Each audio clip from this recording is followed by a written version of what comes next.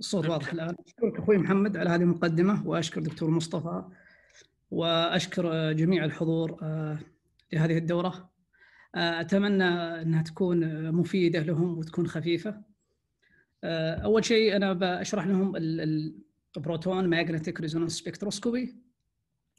So as we can see here this is the proton we use a magnetic field to get uh, the resonance or frequency and then we post it in, uh, as a spectrum, which is uh, for illustration so human can uh, understand these peaks. So الفكرة من ال spectroscopy ان نختار voxel أو مكان معين داخل ال brain أو spinal cord أو اي مكان في جسم الانسان بعدين then we run our experiment and then we got something called free induction decay يعني بعد ما نسوي التجربة تبعتنا نحصل على signal in time domain that we can't understand it in the time domain had a signal oscillating around x, y axis.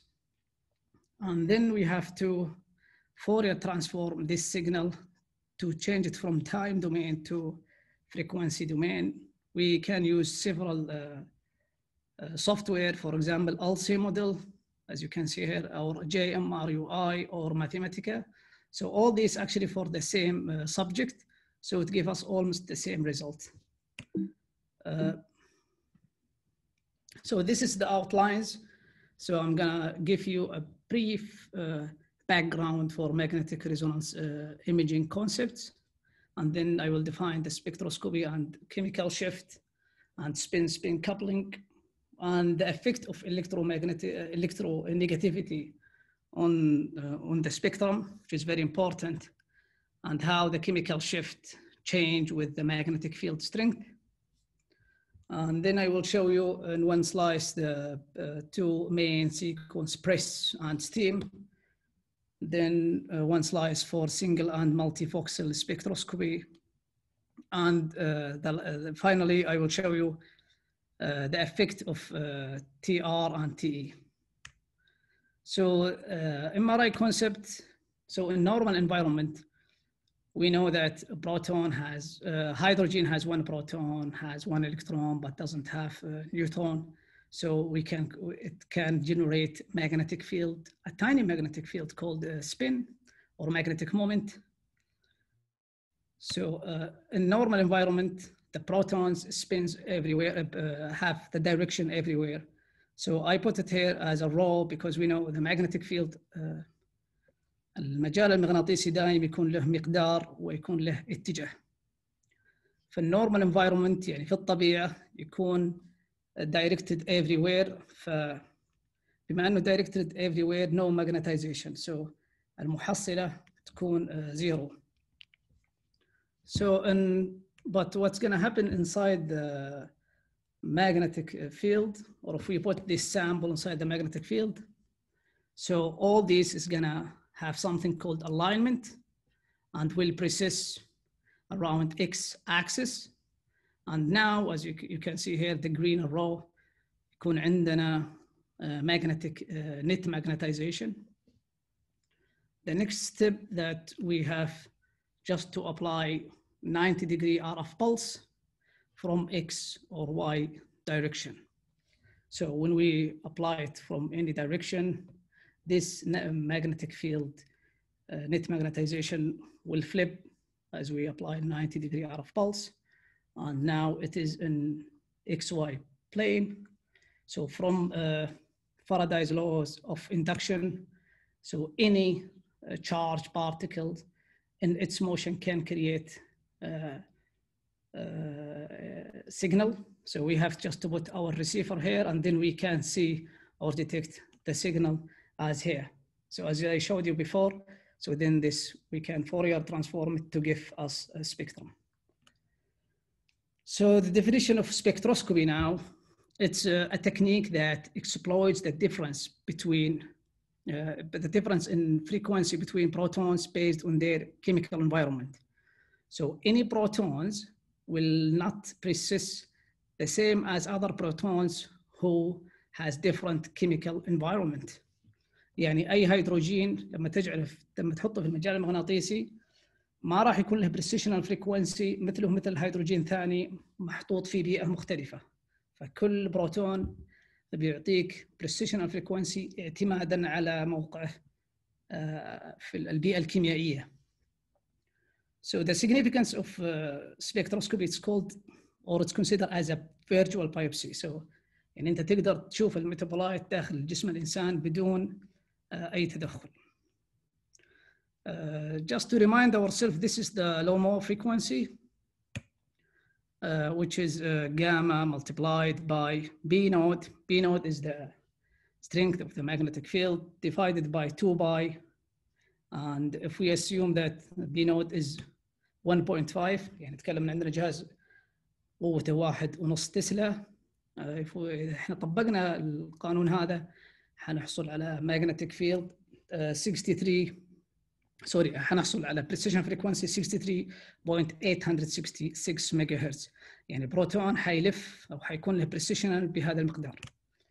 لكن خلونا نفترض إذا حطينا مادتين مختلفتين خلينا نقول حطينا water و lipid يعني حطينا موية ودهون حيكون ال precession frequency بينهم مختلف مثل ما ذكرنا لأنه البيئه الكيميائية مختلفة. حيكون ال lipids a precession frequency slower by 217 هرتز هذا ال animation فقط عشان أوضح لكم خلينا نفترض إن هذا ال methyl group اللي هو CH 3 inside lipids إذا افترضنا إنه هذا ال precession frequency تبعه حيكون ال precession frequency تبع ال water بالشكل هذا حيكون أكثر. طبعا هذا رسم تقريبي لا يمكن إن نعرف أو نشوف بالعين مجرد كيف الفرق بينهم. So now uh, let's uh, move to chemical shift and B nought. Uh, مثل ما ذكرت إنه ال magnetic field uh, ممكن إنه uh, ال magnetic field يغير ال chemical shift فيكون عندك أكثر chemical shift. يعني على واحد ونص تسلا حيكون chemical shift بقدر معين، على ثلاثة تسلا حيكون أكثر، على سبعة تسلا بيكون أكثر. ال chemical shift عادة يحسب في ال spectroscopy ب part per million وهذا لا يعتمد على ال magnetic field يعني أنت تستخدم 1.5 you will get the same result. Or 3 uh, Tesla you will get the same result for any metabolites. والسبب إذا إحنا شفنا الايكويشن تبعت الكيميكال شيفت هنا. So uh, uh, which is the sample that we are interested. أي خلينا نحكي مثلا water هنا minus the reference divided by the reference. This will give us a part per million, no matter what your magnetic field strength is. So the reference usually in, in uh, MRS, uh, it's a, a, molecule or a compound called tetramethylsilane, TMS. The precision frequency تبعه 42.57 megahertz per Tesla. Uh, إذا افترضنا أن احنا حطينا مولكيول داخل المagnetic فيلد وسوينا spectroscopy على 1.5 خلينا نقول هنا هنا مادة معينة خلينا نقول هنا X مثلا. إذا رحنا لثلاثة تسلا حيبقى X مكانه لكن حتشوف ال separation peak uh, it becomes better. uh, على سبعة تسلا أفضل على تسعة تسلا أفضل وأفضل. طبعا هذا based on simulation or this based on solution. يعني based on تخيل إنه هذه metabolites إحنا جبناها ودخلناها داخل الجهاز. لكن في الحقيقة على ال in vivo في ال human ما راح تكون ال result impressive as we can see it here لأنه بيكون فيه effect اسمه يسمى compartmentalization داخل جسم الإنسان في cell membrane في extracellular هذه تأثر كلها على ال separation فممكن إنه 9.4 ممكن ما يكون narrow the peak will not be narrow as you can see it here. So let's go back to simulation. So if we assume we have H2O, which is water, يعني إحنا نحط هذا مركب ال water لما نحطه في داخل ال magnetic field حنحصل على signal which is called uh, free induction decay. من من الصورة هذه تذكروا معاي إنه لاحظ إنه ال water ياخذ وقت وقت أطول عشان يصير له ال signal decay. إحنا بعدين uh, حنستفيد من المعلومة هذه. لما نسوي له Fourier transformation حنحصل على peak لأنه هنا أنت ما تعرف كم ال frequency تبع ال water لكن هنا أنت تعرف في ال ppm okay هذا 4.7 إذا أنت تستخدم 1.5 يعني 63 ميجا هرتز as I mentioned before. You multiply it by 4.7 بيطلع لك 300 تقريبا هرتز ال shift حق ال water هنا. So let's now assume we have another more complicated uh, molecule which is uh, CH3, CH2, and OH. This is basically ethanol. So we will have a free induction decay uh, uh, slower, or sorry, not slower, faster. يعني T2 هنا T2 star صارت أقوى من هنا. عادة ال metabolite اللي إحنا بنحسبها بتكون في المنطقة اللي هذه هنا. أي شيء هنا يكون هو water. فلما نسوي processing بعدين إحنا نبغى نشيل أي منطقة هذه. لأن هذه عبارة عن water water إحنا ما نحسب ال water إحنا نبغى نشوف ال metabolites. If we Fourier transform this one إذا دخلناه من ال time domain إلى ال frequency domain حيطلع معنا 3 peaks. Each peaks represent uh, uh, proton groups. So هنا CH3 CH2 and OH لكن لاحظ إنه هنا البيكس uh, يعني صاير لها انقسام يعني هذه بيك ولكنها ثلاث بيكات يعني جوا so it's splitting so this is effect called spin spin coupling and there is a rule for this one which is n plus one rule انت عشان تعرف كم يكون عندك splitting طبق القانون هذا n يعني neighboring يعني البروتون المجاور زايد واحد حيعلمك كم عندك يكون splitting هذا ال chemical structure تبع الايثانول so if we see this is CH3 إذا هذه تعتبر ك group واحد a neighboring proton so this is uh, these linked to carbon so the next door carbon has two uh, proton so a neighboring proton يعني المجاور للجروب هذا هم اثنين so n equals 2 2 plus 1 3 so we have here 3 or triplet for this group which is CH2 or uh, as, you, as, they called it, uh, methylene. So the next carbon uh, has, next door carbon has three proton يعني الكربون المجاور عنده ثلاثة هيدروجينات الجهة الثانية ما عنده كربون إذا neighboring 3 3 يعني n equal 3 3 plus 1 4 so we have four peaks عندنا أربع uh, four peaks which is called quartet so for this one it links to oxygen so there is no neighboring so n equals zero لان ما عنده اي بروتون ثاني مجاور n equals zero zero plus one is one so uh, طلعت عندنا singlet so uh, let's now move to sorry yep so let's now move to another things which is very important in spectroscopy which is called electronegativity effect احنا لما شفنا السيموليشن اللي هنا شوف بعضهم جايين على 1.3 الجروب هذا جاي على 3.6 هذا 4 point something so which what is the effect or what's the impact او وش هو اللي يتحكم بالكيميكال شيفت فاليو or PPM value هذا اللي يسمى ال electronegativity إحنا نعرف إن الهيدروجين عادة يكون مرتبط اما بأكسجين اما بكلورايد نيتروجين كربون. إذا هذه ال electronegativity value لل atoms اللي أنا ذكرتها الآن. الأكسجين has high electronegativity effect. يعني البروتون لما يكون مربوط في الأكسجين حيكون الإلكترون اللي جنب الهيدروجين حيكون مسحوب لأن ال electronegativity معناته إن الأكسجين حيسحب الإلكترونات اللي تكون جنب الهيدروجين. فالهيدروجين حيكون معرض أكثر لل magnetic field. فمعرض أكثر معناته إذا تذكرون الرسمة في البداية ال animation معناته بيصير ال precessional أكثر. الكلورايد أقل النيتروجين أقل الكربون أقل وأقل. يعني حتى لو تذكر هنا شوف الكربون عادة تكون قليله ال PPM يعني الكربون لأنه ال electronegativity حقته قليلة. فهذا معناته لو وضعنا هيدروجين ربطناه في الكربون حيكون الهيدروجين محاط بسحابة إلكترونية. السحابة الإلكترونية هذه حتحجب ال magnetic field قوة المجال المغناطيسي اللي أنت تستخدمه.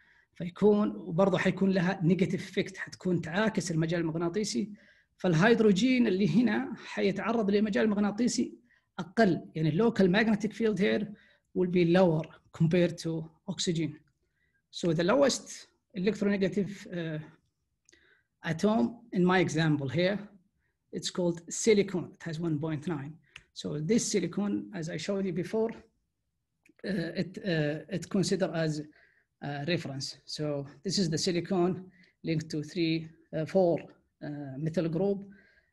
فالهيدروجين اللي هنا لأنه جنبه السيليكون فيكون محاط بسحابة إلكترونات فيكون لما يلف داخل المجال المغناطيسي يكون جدا بطيء مقارنة بالهيدروجين اللي مرتبط بالأكسجين لأن الهيدروجين المرتبط بالأكسجين يكون ما جنبه إلكترونات لأن الأكسجين أخذ الإلكترونات منه فيكون ال precession أعلى Uh, now, uh, this is uh, the two main sequence, which is called press and steam. Press is recognized by 90 degree RF pulse followed by two 180 RF pulse, while steam has triple 90 degree RF pulse.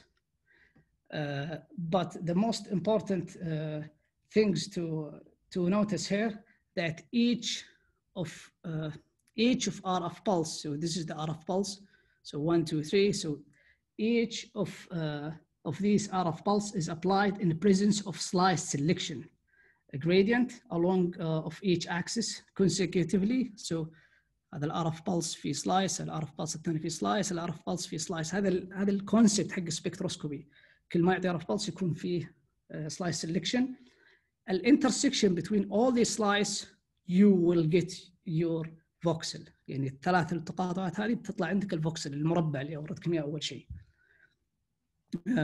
Steam actually is very complicated to explain in one chart ولكن لاحظ من هنا إنه STEAM ممكن يعطيك lower TE فال STEAM عادة ال TE في ال STEAM تكون half of of PRESS ولكن في شيء ثاني يشفع لل STEAM إذا شفتوا ال sequence هنا STEAM ممكن يعطيك أقل TE فأنت لما تقلل ال TE أكثر فهذا compensate أو يعوض نقص ال SNR.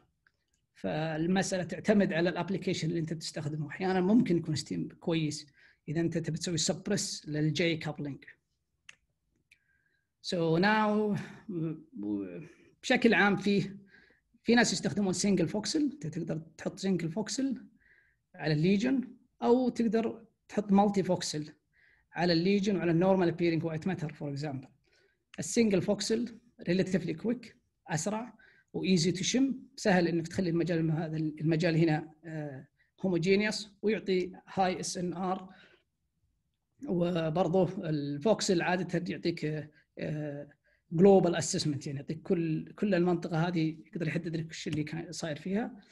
ال multi voxel that we need to يعني الفرق بينهم في ال sequence إن ال multi نفسه لكن ال multi ال multi عنده additional phase encoding gradient فكل ما يعطي phase phase phase فنقدر نخليهم يعني زي هذول أربعة أو خمسة. ولكن عادة يكون ال voxel فيهم أصغر فيكون ال SNR أقل. ولكن the most important things in multivoxel that we can uh, compare the lesion with the normal appearing white matter. يعني إحنا نقدر ناخذ المنطقة اللي هنا نشوف كيف المتبرايت نشوف المنطقة اللي هنا فبعد نقدر نتأكد. ف very valuable. Things now the last things before uh, Abir starts I will show you TR and TE effect to make it easy just remind yourself that when you want to run a spectroscopy just remember proton density parameters إحنا نعرف ان ال TR لما تخلي ال TR مرتفع جدا وتخلي ال TE قليل جدا انت بتسوي suppress لل T1 and T2 effect فعادة يفضل إنك تستخدم very long TR and very short TE لكن المشكلة ال spectroscopy إن ال short TE يعطيك high SNR ولكن بعض ال peaks اذا تذكرون ال peak ات اللي جنب بعض حيكون لهم overlap with each other فممكن يتداخلون. فأنت ما تعرف هذا هل هذا ال peak تبع الحال أو هذه عبارة عن peakين ولكنهم mixed uh, لكن ال long TE can be a good choice if you يعني اذا انت تصور metabolite لها long T2 relaxation مثل NAA this is simulation that I have used just to show you the T1 and T2 for the four main metabolites which is NAA, creatine, choline, inositol. نقدر نشوف من ال inositol has the highest or the shortest T1 يعني انت لو حطيت TR حيطلع عندك الاينوسيتول مرتفع هو مش مريض لأنه مرتفع لا هو مرتفع لأنك أنت استخدمت short TR فرفع على آخر شيء. 2000 even is not enough 2500 3000 لكن برضو تذكر إن ال T1 يختلف مع قوة المجال المغناطيسي. For T2 you have to put as short as possible of TE يعني أنت تحاول تقلله مثلا إلى هنا فتقدر تأخذ سلمه العالية. إذا رفعت ال TE إلى 200 أو أي رقم هنا فال myo-inositol ما راح تشوفه. فإذا أنت مش مهتم في ال myo-inositol ممكن تشوف ال still it will give you a good uh, signal. uh, الآن uh, أخت عبير بتورينا بعض ال clinical application وال shimming وحاجات جدا مهمة. ف